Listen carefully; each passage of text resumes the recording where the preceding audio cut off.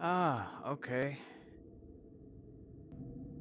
Good job. Okay. Now place the hat in the lost and found bin on your right.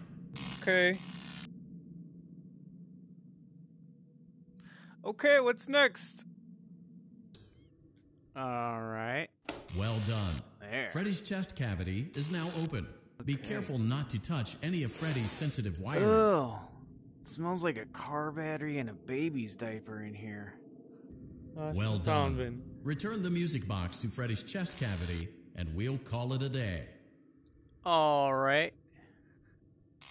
Oh no! You seem to have mishandled Freddy's music box. I didn't. This is not good.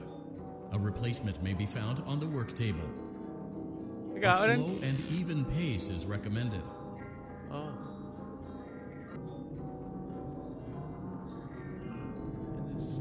A Crisis averted. To close Freddy's chest cavity, press the large black button on the center of Freddy's face. That concludes your time in parts and service.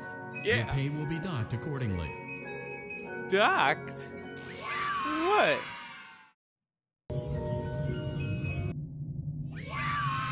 Ooh, a little Bonnie.